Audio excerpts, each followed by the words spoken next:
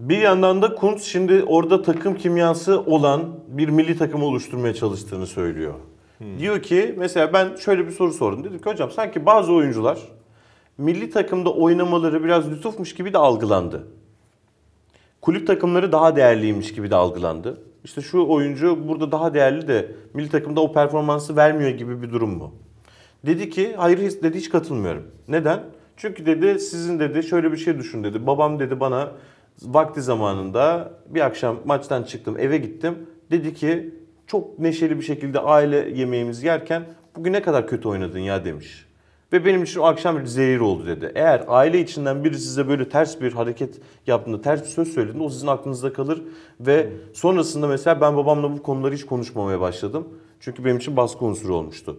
Bunlar Türk milli takım oyuncuları ve ben Letonya maçından sonra o son dakika golünden sonra özellikle gördüm ki özellikle te- tecrübeli oyuncularda maç sonunda ağlayanlar bile oldu sevinçten. Ee, milli takım için, ülkeler için bir şey yapmaya çalışıyorlar Evet. ve ailelerinden yani milli takım e, taraftarından, sosyal medyadan, spor yorumcularından gelen tepkiler onları kat be kat etkiliyor dedi. Kuntz'un yorumu. Biz burada arkadaşlarıyla da daha uyumlu bir milli takım yaratmaya çalışıyoruz. Mesela dedi ki 12 ile 2 arasında öğlen yemeği var. Buna Tuhel de bunu uygularmış bu arada. 12 ile 2 arasında öğlen yemeği var. Birisi 12'de geliyor yemeğe. 2 kişi 12.30'da geliyor. 3 kişi 5'te geliyor. Şey 3 13.30'da geliyor. 4'e 2'ye çeyrek kala da bazıları geliyorlar. Herkes ayrı ayrı yemek yiyor normal düzende. Kuntz demiş ki hayır kardeşim 12'de herkes yemeğe gelecek. Kaptan Burak Yılmaz herkes oturdu. Son kişi tabağını aldı. Baktı tamam mıyız arkadaşlar? Tamamız. Afiyet olsun. Herkes yemeye başladı.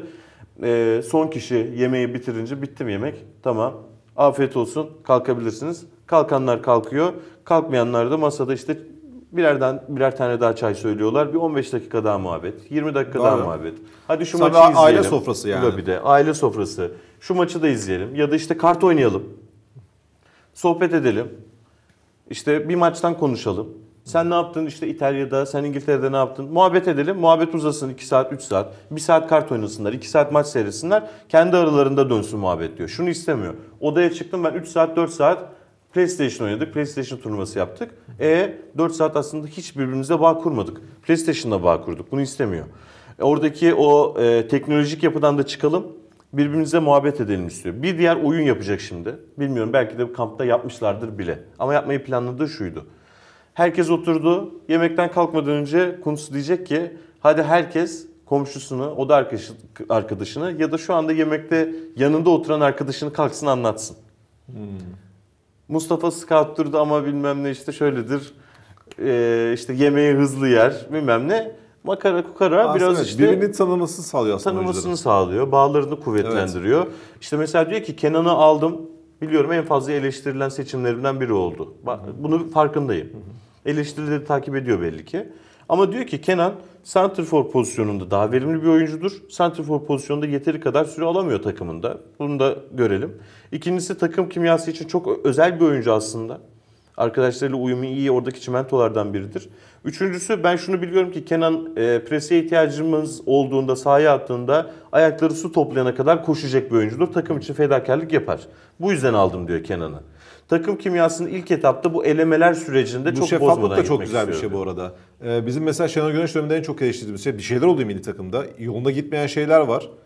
Ee, bazı oyuncu tercihleri var. Bazı oyuncular oynamıyor. Bazı oyuncular ısrarla çağrılıyor. Ama cevabını da bilmiyoruz. Bilmiyoruz. Bilmiyoruz yani anlatılmıyor da şeffaflık da yok. O yüzden o eleştirilerin boyutu daha da büyüyor. O zaman işte o Letonya maçındaki boşalmaya gidiyor oyunculardaki iş. Tabii. Eleştirilerin dozu da daha artıyor çünkü bir şeyler yani o koparılıyorsun milli takımdan. Buradaki bu şeffaflık çok değerli bence. Tabii bak şimdi ilk anlattığım o aile aileden gelen eleştiriler konusu hocanın kastettiği isimler belli. Orada isim vermedik karşılıklı.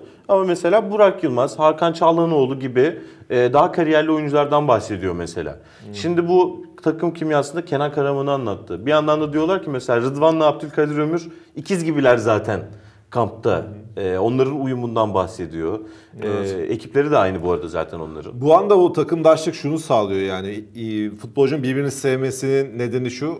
e, Yani buna doğru takım itmenin nedeni şu. Saha içerisinde atıyorum bir oyuncu hata yaptı.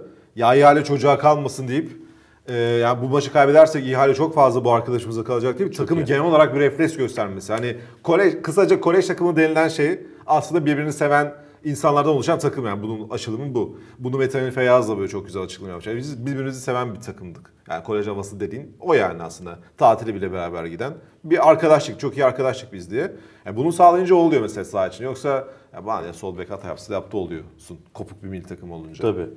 Son Hamit Altın Top'un da mesela söylediği çarpıcı bir şey var. Bizim oyunu özellikle geliştirmemiz lazım diyor. Yani bizim hadi yabancı ben kısıtlamalara karşı değilim diyor ama eee, borçlar artmış. Bu mevcut kuralla başarı da gelmemiş kulüplere. Evet. Eee, bizim biraz dışarıyla yarışmak, alıcı olmak yerine kendimizle yarışmamız gereken bir döneme ihtiyacımız var. Kendi özümüze değer vereceğimiz bir döneme ihtiyacımız var diyor.